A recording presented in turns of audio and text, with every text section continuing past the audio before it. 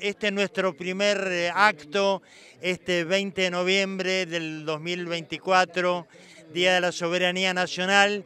Quisimos estar presentes aquí en la puerta de IMSA, Industrias Metalúrgicas Pez Carmona, para denunciar la extranjerización de esta empresa que es líder en tecnología, en desarrollo tecnológico, es una, una, empresa que ha formado recursos humanos a lo largo de años y años que tiene que ver con el desarrollo nuclear, con el desarrollo de la energía eólica, con el desarrollo hidroeléctrico. Hoy va a ser vendida a precio vil. El gobierno de Javier Milei y el gobierno de Alfredo Cornejo han vendido las acciones y están buscando comprador para esta empresa. Estamos acá en el Día de la Soberanía, que hay que recordar, para defender y, en definitiva, IMSA, este proyecto de una empresa metalúrgica que pueda ser parte del proyecto nacional y provincial productivo. ¿no? Hay dos grandes modelos que están surcando.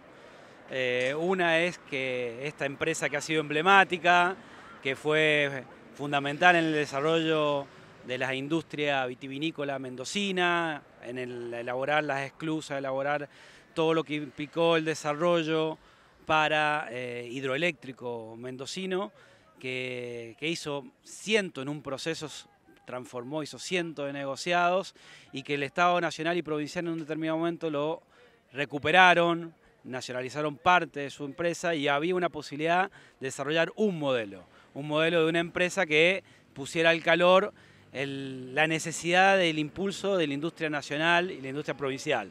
Una empresa que pudiera desarrollar los parques eólicos mendocinos, una empresa que pudiera hacer el vaquiano, una empresa que pudiera hacer el trasvase del río Grande al río Atuel, una empresa que pusiera en función un desarrollo provincial. Eso es lo que estaba en juego y hoy el proyecto de Miley de Cornejo lo que vuelven a hacer es a negociar esta empresa como lo vimos en los 90, privatizando los que son patrimonios nacionales para la entrega de los grandes grupos extranjeros. Y nos venimos a oponer a eso y agradecer el apoyo de la sociedad para defender IMSA. Participar en esa lucha y cómo no voy a estar aquí acompañando a esta gran empresa que fueron capaces de generar tantos puestos de trabajo a los mendocinos y ser una de las cinco empresas emblemáticas en el mundo.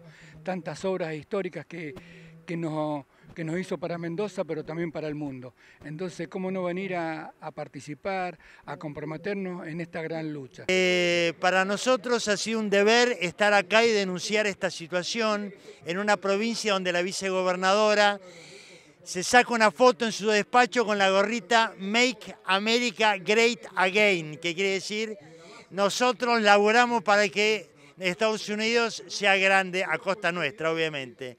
Esa vergüenza nosotros la queremos reparar con este acto de presencia en las puertas de IMSA. Y seguiremos volviendo a estar en la calle a reivindicar nuestros derechos, nuestra patria justa, libre y soberana.